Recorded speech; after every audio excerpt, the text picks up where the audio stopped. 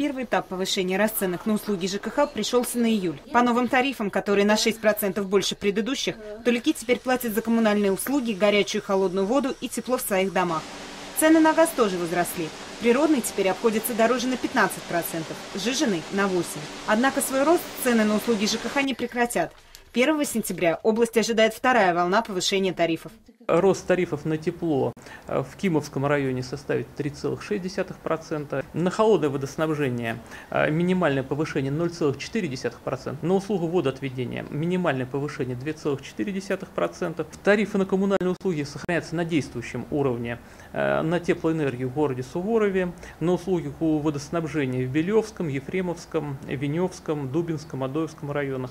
Однако на достигнутом рост тарифов на ЖКХ в целом по стране не остановится. В новом стандарте предельной стоимости коммунальных услуг Минрегион развития предполагает, что к 2015 году цены по квитанциям вырастут на 5%. В среднем по России стандарты оплаты ЖКХ на 1 квадратный метр жилья составят 109 рублей в 2013 году и подорожают до 133 рублей в 2015.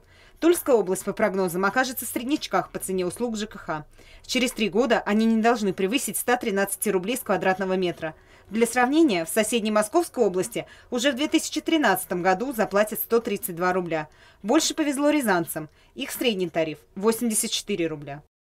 В этом году жители области может ожидать еще одно нововведение – другая система оплаты отопления. Если сейчас жители оплачивают эту услугу в течение года равными частями, то в будущем эту сумму придется платить только в период отопительного сезона. Однако к подобному способу расчета тулики относятся довольно скептически. Я считаю, человек, который зарабатывает, ему без разницы, в какой месяц платить.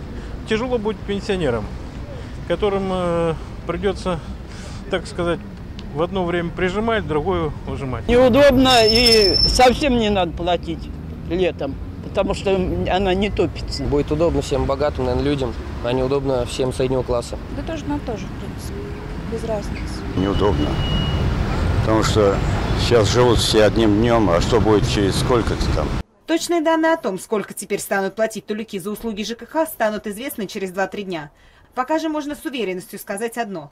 Больше, чем на 10% по закону подорожать коммуналка не должна. Екатерина Соливанова, Борис Глоба, ТВ-центр Тула.